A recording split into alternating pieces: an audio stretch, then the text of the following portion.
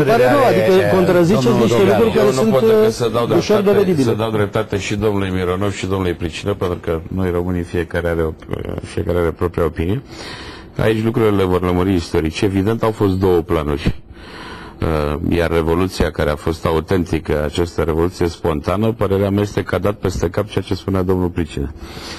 Adică uh, nu ne-a scăpat de Ceaușescu, ne-a scăpat de uh, niște urmări mult mai grave și de niște planuri pe care și le făcuseră unii uh, vis-a-vis de noi.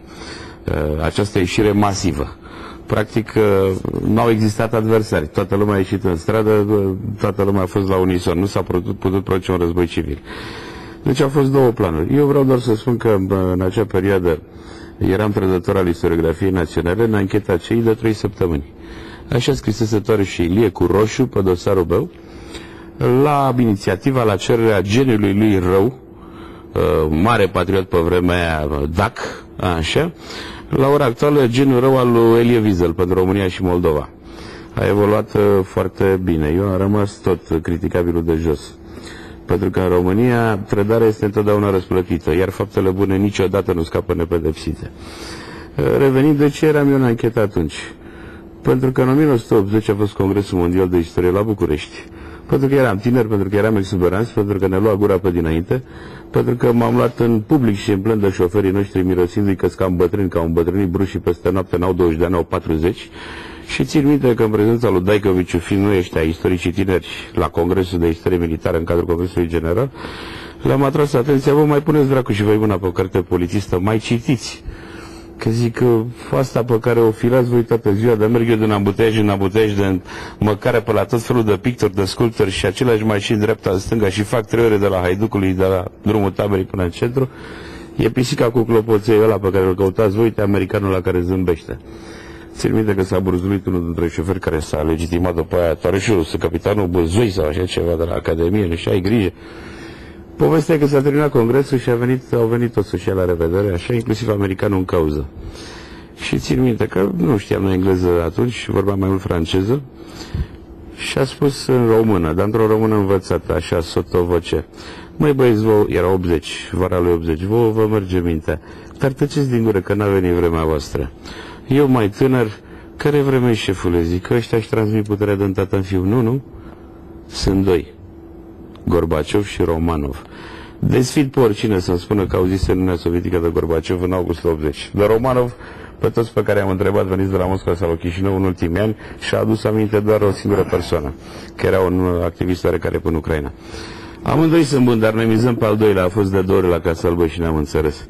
Când ăsta va ajunge în locul lui Brejnev, totul se va schimba la ei și a doua zi la voi. Țin minte că am râs uh, noi istoricii militari tineri vreo 5 ani de cât de fraieri sunt ăștia din Occident până în 85 când am trezit cu Gorbaciov. Și atunci am făcut un scurt bilanț cum a fost distrusă sistematic România din 80 până în 85. Ce s-a întâmplat în anii ăștia?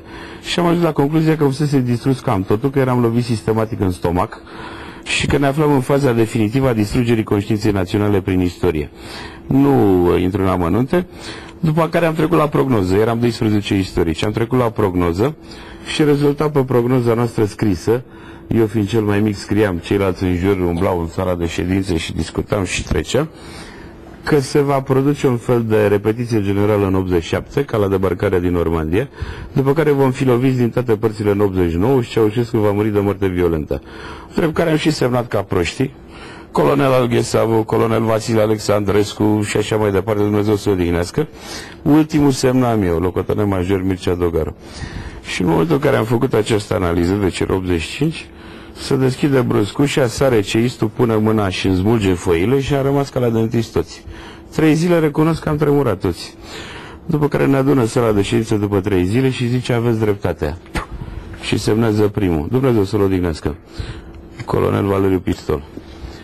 Se duce la ministru cu raportul, după care anunță ministrul zice că aveți dreptate, dar nu avem ce face, că ăsta e fratele lui ăla și nu se poate face nimic. Că, într-adevăr, suntem loviți sistematic. Mâncare există, porcii nu pot părăsi județul Tulcea, cartofii nu pot părăsi Harghita, totul este ținut în depozite, toate măsurile se iau pe dos, suntem loviți sistematic. Ceva se va întâmpla. Uh, această chestiune, deci din 85, uh, n-am urmărit-o. Nu am constatat că dispar unul câte unul din grupul acela. Ultimii am fost declarați strădători a istoriografiei naționale la ancheta cei în 89. Între timp mai suntem patru în viață.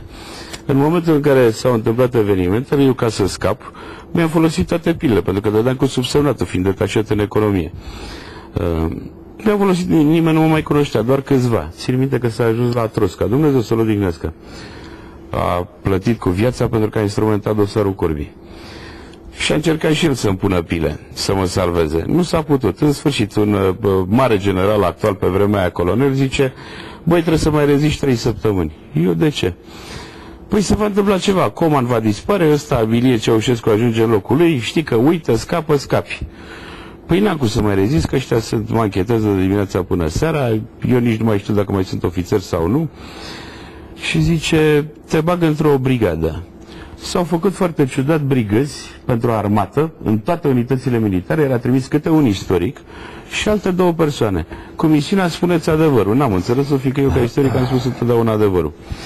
În sfârșit, am plecat în acele brigăzi, pentru că i s-a strecurat lui Ilie și a semnat. Din clipa în care cei care mă închetau au văzut că uh, cine ăsta care mi-a cerut capul uh, mă scoate din dispozitiv, au umblat după mine din acel moment timp de un an de zile, cu dosarele să mi le arate. N-am vrut să revăd niciodată. Ce vreau să spun este că evenimentul Timișoara m-a prins pe undeva în drum spre Timișoara, pe partea sudică.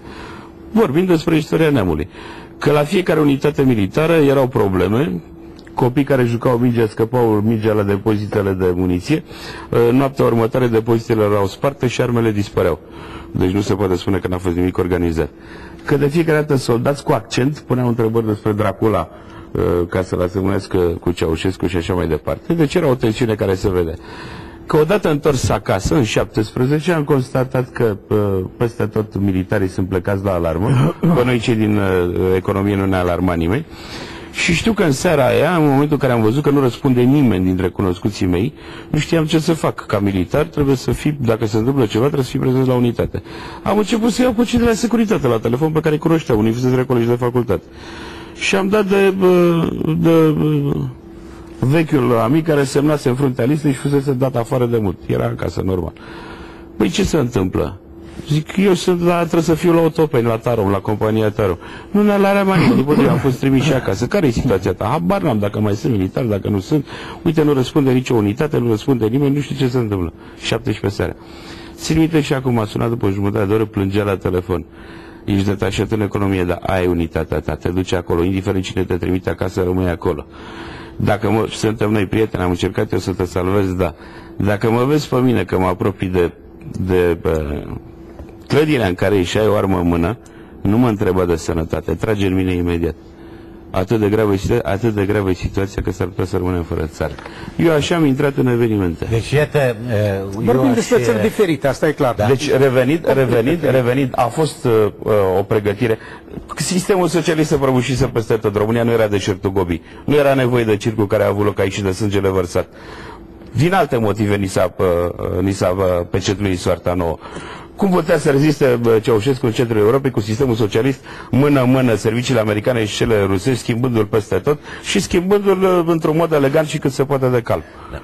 Chestiunea da. este că uh, ceea ce s-a întâmplat nu are, nu are justificare. A fost o agresiune, a fost o agresiune concentric și temeinic pregătită, au participat zeci de mii de profesioniști în țară, cu mulți am discutat între timp, ca istoric militar la diferite congrese. Uh, Spetsnaz și Omon au fost debarcați din iunie în București. Mi-aduc aminte că veneam la Ministerul Transporturilor în fiecare zi de la Otopeni cu mașina și vedeam ruși câte 100 de până în flori la Safeul Lenin de la, de la Casa Scântei. Toți tineri, toți vânjoși și o femeie la trei bărbați. Deci au fost din iunie la recunoaștere de obiectiv. Era un turist la Timișoara ceva de, de speriat. În special croați, în special ruși, în Timișoara toți tineri, toți soliți, vindeau chibrite și alte chestii de genul ăsta. Ne-au pregătit o sortă tristă, dar nenorocirea pentru ei și salvarea pentru noi a fost că pe fondul ăsta, lovind prea mult român în stomac, aducându-l la disperare, toată populația practic a ieșit în stradă. Mulțumesc până Toată aici. populația a strigat jos Ceaușescu, exact ce a simțit dumneavoastră, asta a simțit toată lumea, pentru că la fel trăiau și militari, inclusiv ăia de la securitate, la fel, ba chiar mai rău, pentru că nici nu avea voie îmbrăcați militari să stăm la colț să luăm o bucată de pâine. Pe fondul ăsta, declanșarea evenimentelor spontane care i-a luat prin surprindere, a făcut ca scenariul București să cadă. S-a mutat la Belgrad. Și am văzut ce s-a întâmplat cu Iugoslavia. O să